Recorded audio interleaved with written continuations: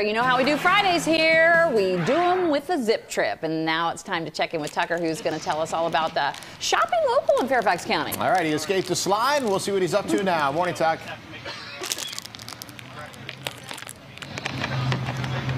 Find in Fox 5 that is going to know something about shopping, they've come to the right guy. All right, I got Ashley and Monica. Yes. Ashley, celebrate Fairfax, right? Yes. And Monica, these are your beautiful goods. Yes, they are, um, from Klayish. Okay, and we'll talk to you in just a minute, but let's talk Celebrate Fairfax. Absolutely. All right, tell me uh, what's going on. Sure. So Celebrate Fairfax, we're a 40-year-old 501c3 nonprofit mm -hmm. that was founded in Fairfax County to celebrate Fairfax County and its communities. Um, so we're able to accomplish our mission through bringing people, different entities, businesses together to create meaningful experiences and events. And our organization tries to build up that sense of community. So we've been, um, our latest endeavor has been the park at Tysons, which is where Monica comes in with Klayish. All right, tell me about the uh, park at Tysons.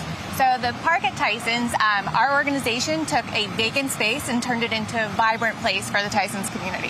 Um, last year, we did a community uh, engagement survey to name the building, which is mm-hmm. Park, and it stands for People, Arts, Recreation, Community.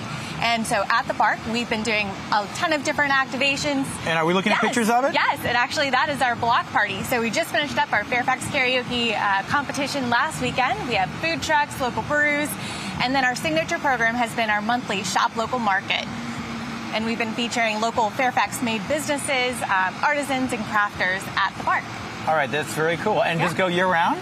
It does go year round. So we have a Shop Local Market coming up on September 10th, which Klayish will be there. All right. Time to make a transition. Yeah. yeah. Tell me about your beautiful stuff. And uh, you just told me this is like your side hustle, right? Uh, yeah, I do this. Right, I, until, I... until it fully takes off, and then you'll, and then this will Talk to us. So this is what I do. This is um, handmade modern wearable art. All right. Um, it's polymer clay jewelry with a twist. Um, it's very lightweight. Um, I base all of my creations on neutral tones.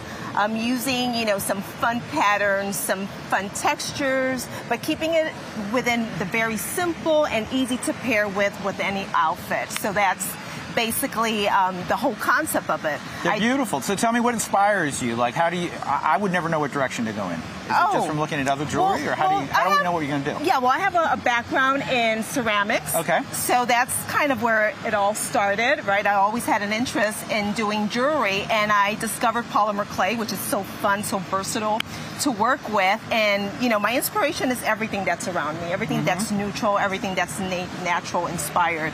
Um, but I kind of, you know, applying all of those techniques. And if people want to see more of your stuff, tell everybody where they can find you at this market. Well, I'll be at the market um, okay. on September 10th and also on my website, which is klayish.com. Mm-hmm. So you can find all of my collections of earrings, um, hair accessories, and the variety of necklaces. I love it. Yeah.